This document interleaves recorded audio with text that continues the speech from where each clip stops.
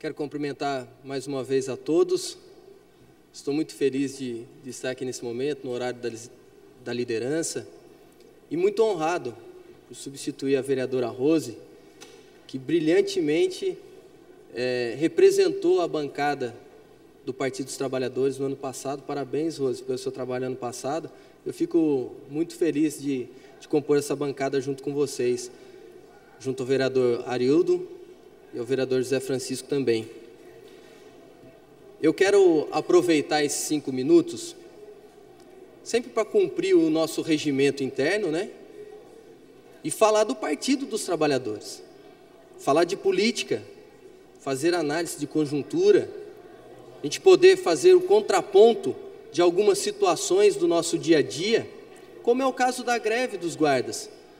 Porque se alguém aqui falar que teve um vereador que se omitiu e não quis apoiar, isso é mentira. Esse foi um apoio maciço dos 13 vereadores. Todo mundo sabe, o Arildo foi o representante do Partido dos Trabalhadores, não adianta todo mundo ficar falando. Então nós traçamos uma linha, o Partido dos Trabalhadores tem quatro representantes, então o Arildo foi o escolhido e nos representou muito bem até então. Espero que isso se conclua o mais rápido possível. Escutei aqui a respeito de empresas, de falta de apoio a empresas. Olha, eu acho que a gente tem que visitar a incubadora. No final do ano passado eu apresentei aqui, nós temos praticamente 20 empresas incubadas. Quero mandar um abraço para o Marcão, toda a sua equipe, que as pessoas que entram lá são pessoas que têm uma expectativa de realmente firmar o seu negócio, mas ainda não tem certeza se aquilo vai dar certo ou não. Por isso tem o suporte do Sebrae. Então, aproximadamente, aproximadamente 20 empresas hoje estão instaladas na incubadora. Tivemos também uma outra fala aqui do vereador Fernando, que as empresas menores talvez possam fechar porque não apoiam campanhas políticas. Tudo isso é registrado no, no Tribunal Superior Eleitoral. Então, tudo feito conforme a legislação. Então, a gente tem que falar a verdade para as pessoas, porque depois a, a penalização é uma condição natural. Isso, vai, isso pode acontecer. Então, falar, todo mundo pode falar mas a gente tem que ouvir o outro lado também. E nesse caso, o lado da verdade.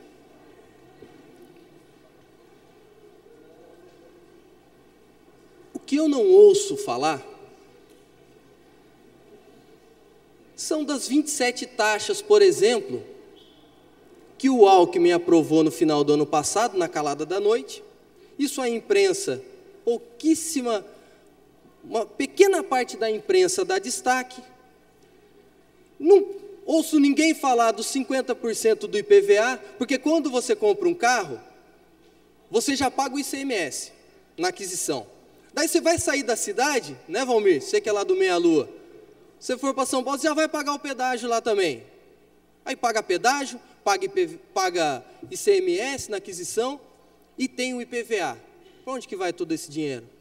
É uma discussão que tem que ser feita, mas Pouca gente levanta essas questões. É, 27 Hernandes, taxas. Por favor, eu não pago porque não estou carro, e bicicleta não está pagando ainda. Tá certo. Mas o senhor, como está representando a população, tem certeza que defende essa causa também, né? Então, então eu acho que são algumas questões que a gente tem que discutir aqui.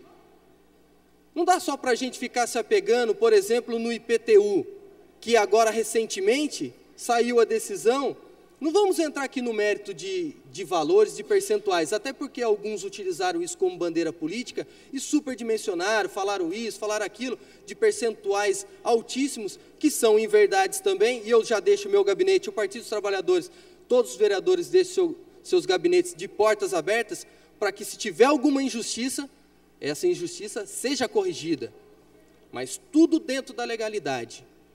Então não vamos utilizar essas bandeiras como plataforma política. Eu vejo algumas entidades até abraçando essas causas, sem ouvir o outro lado. Mas daí abraça, depois que a população é prejudicada, na onde que estão as pessoas? Eu quero que a população depois vá cobrar. Ué, você não falou para mim que não era para pagar? Agora você me ajuda a pagar, porque eu tenho que pagar, a justiça determinou que tem que pagar. Mas nessa hora depois somem as pessoas. Por quê? População de Jacareí, nós temos eleições de dois em dois anos. E às vezes, num momento, essas coisas são enaltecidas para iludir você.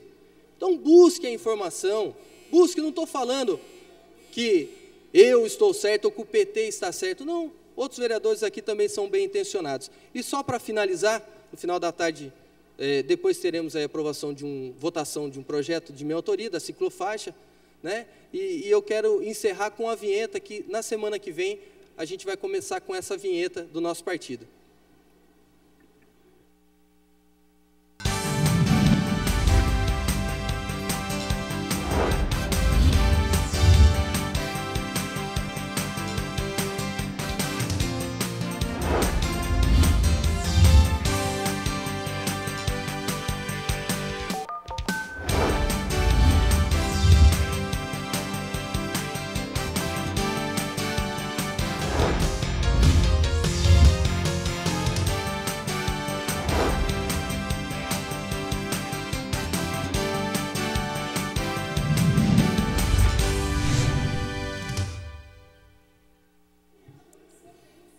Obrigado, quero agradecer a todos da TV Foi, Câmara vereador, pelo apoio.